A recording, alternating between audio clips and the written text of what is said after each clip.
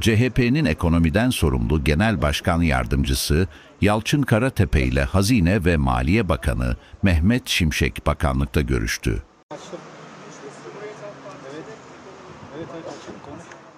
Görüşme 4 saat 15 dakika sürdü. Karatepe görüşmeden kırmızı bir dosya ile ayrıldı.